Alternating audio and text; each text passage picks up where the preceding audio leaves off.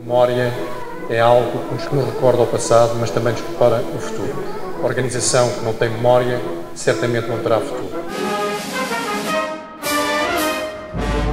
Ainda passou por cá o Almirante Teixeira, que do outro lado era o nosso terror e deste lado convenceu que tinha que ser nosso amigo. A casar no curso.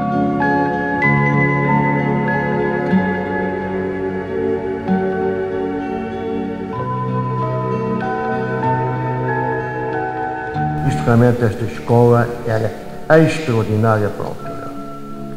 Só para vos dar uma ideia, eu que estudei em Coimbra, quando fazia o meu sétimo ano, e, o meu estava na turma A, que é uma turma privilegiada, e por ser privilegiada tinha ginástica.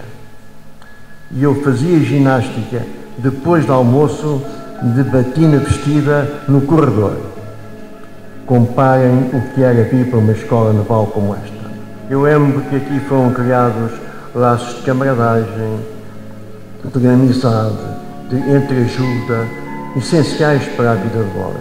A filha dos mastros era, isso era de noite e dia a qualquer hora.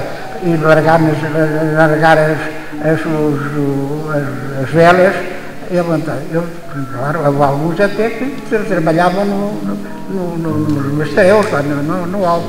O senhor cadete não tinha arame no boné. E quando eu tirei o boné para mostrar que tinha arame, a alteração do castigo foi redigida da seguinte maneira. Afinal, o boné tinha arame, mas não tinha tensão elástica suficiente. Há 75 anos, mais propriamente no dia 2 de novembro de 1936, num evento sem popa nem circunstância, face ao período ensombrado que se viveu na Marinha com a revolta dos marinheiros, a Escola Naval foi concluída e foi dada a primeira aula nas propriedades do Alfeite, uma das famosas Sete Quintas do Rei Dom Carlos. Hoje, em ambiente de liberdade e em que se afirma o valor máximo da dignidade da condição humana, a escola pretende celebrar o rumo da sua existência e expressar o seu sentido de confiança e esperança num futuro melhor para Portugal, passando pela formação de uma juventude bem preparada e solidária com valores sociais e princípios institucionais, mas também com competência e profissionalismo. Foi por isso que decidimos ir à rua. Foi por isso que quisemos deixar os muros da Base Naval de Lisboa, curiosamente em Almada, para nos mostrarmos à comunidade local onde estamos geograficamente inseridos. Foi por isso que entendemos ser importante afirmar o nosso orgulho de aqui estar e querer sentir que Almada também tem orgulho em nos ter. O nosso município está em festa, rejubila de alegria o coração da nossa cidade por este momento tão especial que aqui estamos a viver.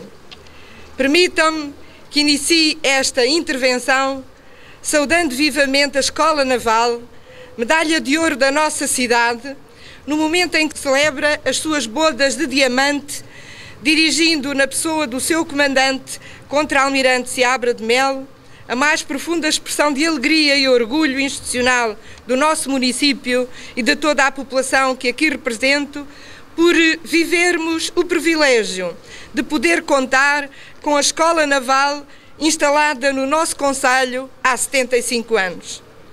Saúdo igualmente de forma entusiástica e reconhecida os múltiplos e tão significativos contributos que a cooperação institucional ativa e profunda entre a Câmara Municipal de Almada e a Escola Naval, envolvendo outras instituições do ensino público superior no nosso Conselho, tem proporcionado à vida local de Almada e ao seu desenvolvimento sustentável e solidário no Portugal de Abril.